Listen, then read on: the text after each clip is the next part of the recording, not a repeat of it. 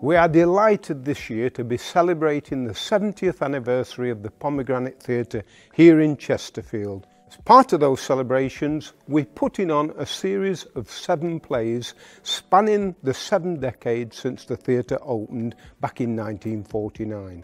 And the good news for you, the customers, is if you purchase all seven plays in advance, in effect, you're paying for four.